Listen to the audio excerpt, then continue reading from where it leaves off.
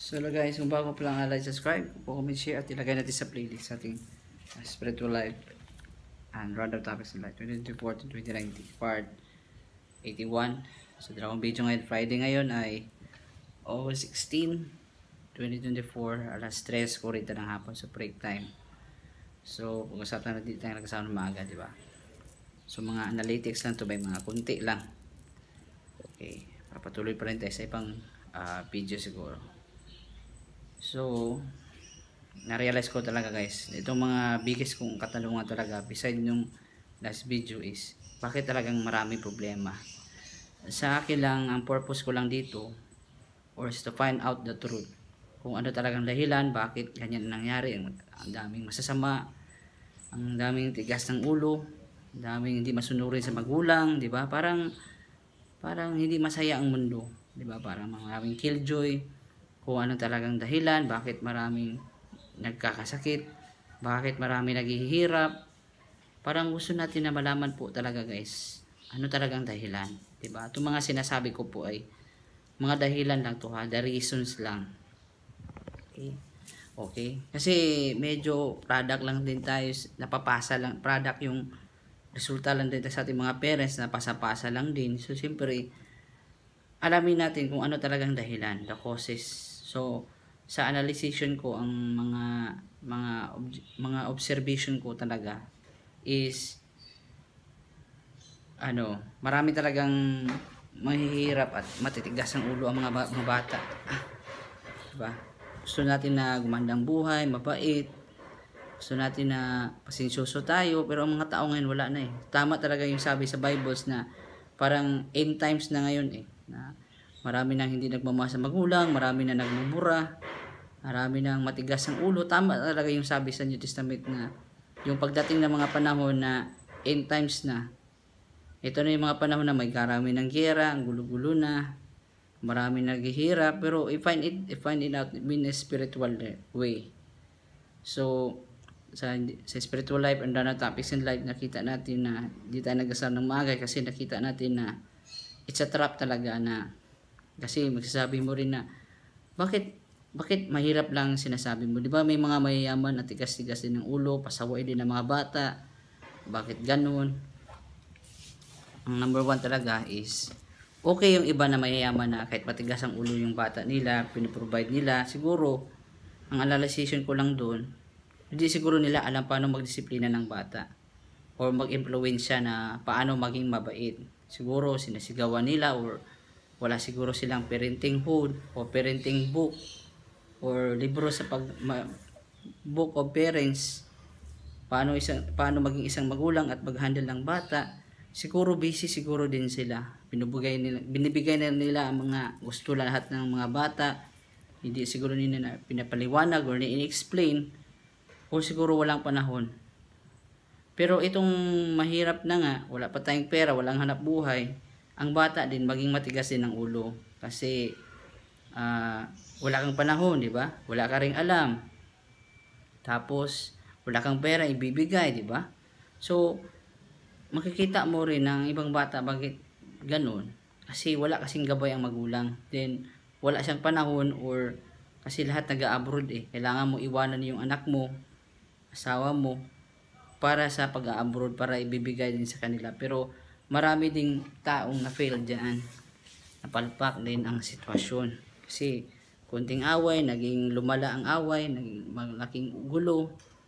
Then, pagkatapos, maghahanap ng iba. Siguro siyempre, sa ngayon, bihira na lang yung mababait at matitinong, matitinong tao o mga right person or honest person.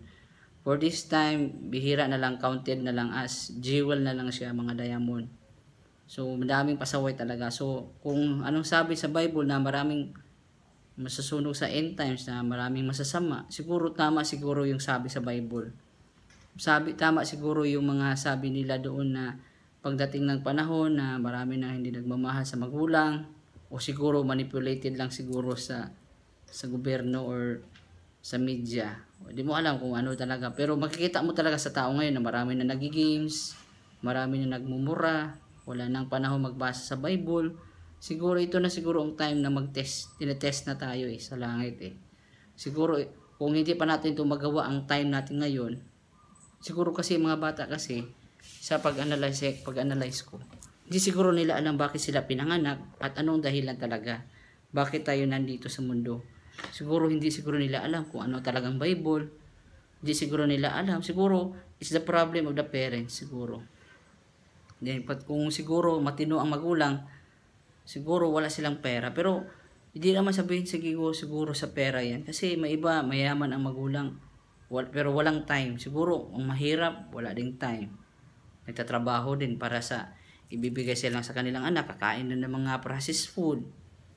Then, magkasakit-sakit din, di ba? So, then, alam mo na, dami problema. Pero hindi tayo takot. Pero, sabihin mo ba, di ba? Sabihin mo yung yung sitwasyon ba na ito lang pala mangyayari sa akin, ganito din.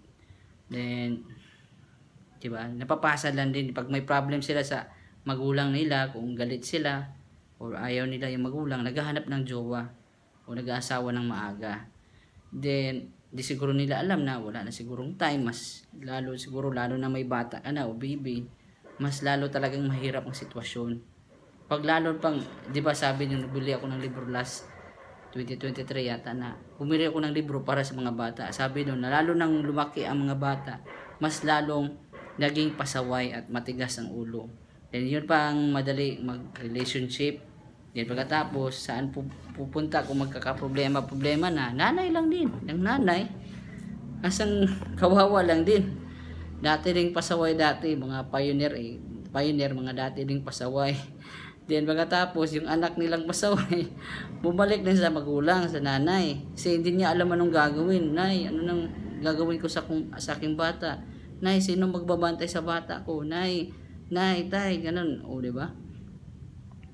Then, ang nanay din, mahirap lang din. Di ba? Paano mo maasahan yun? Sino ba magsasolve sa problem mo? Yun lang din na medyo kung, kung i-analytics mo, kung na lang din ang bata din sa'yo din, hindi mo rin makontrol, sayang lang din. Failure siya sa akin ha, sa aking intindi. Failure siya kasi hindi mo makontrol ng bata. Lumaki lang siya dyan, nagbuhay ka lang ng dragon. Hindi mo mautosan, hindi mo masabihan. Gawin niya lang ano lahat ng gusto niya, di ba? Hindi mo susunod sa magulang, hindi susunod sa Bible. Di ba? Hindi ginagawa ang tama. Nagiinuman doon, nagbibisyuhan doon. So, siyempre, parang isang magulang, parang sasabihin pa sa Proverbs, sayang lang nung pinanganak ko tong bata ko na to. Bakit ganitong ugali niya, 'di ba? Parang maghinayang ka, mo discourage ka.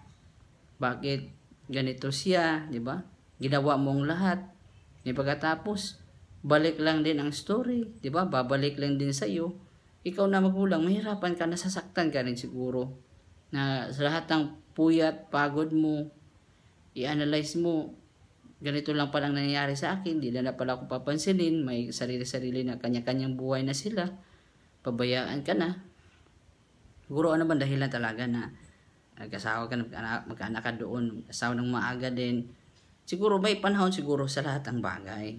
Siguro itong mga kabataan kasi super hot, hot na hot sa hormone. Gusto nila na may nangyari agad din. Pagkatapos, hindi pa talaga sila capable sa buhay. Hindi pa mag hindi pa kaya magtayo-tayo ng matagal, makapahinga, paano mag-relax, paano magpasensya, wala eh, wala pang kita. Then dito ang ang sitwasyon pa sa Pilipinas, ang kitaan dito, sobrang hirap, sobrang hirap kumita ng pera din hindi talaga siya madali. Ngayon, binabadali kasi ito dito sa mga kabataan. Pero tayo diyan, ang mangyayari lang diyan na hindi mo na gawa ang tama yung gagawin mo, mahirapan ka talaga na i-handle ang sitwasyon. Kasi pag lumabas ng bata, bawal mo rin patayin yan, bawal mo rin itapon yan, or ibibigay yan, ibibenta, bawal yan. Pero bakit ganun siya?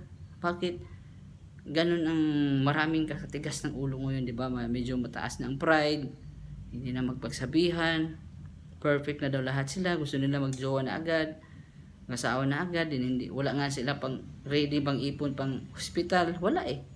So, siyempre, ikaw na magulang, sayang lang yung effort mo. Sayang lang ang pagod at hirap mo pagpalaki sa kanya din ganun lang mangyayari sa iyo, 'di ba? Medyo yun lang din na ako salamat din ako sa magulang ko na kahit marami kami, hindi kami pinapatay, hindi kami abortion. Binigyan, binigyan tayo ng chance na mabuhay sa magulang. Ako nagpapasalamat ako as being grateful na uh, anak lang nanay ko, tatay rin.